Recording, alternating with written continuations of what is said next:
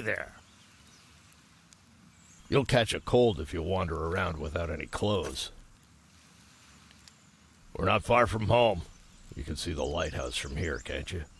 He's a Kazite. Go ahead and sleep in one of the extra bedrolls.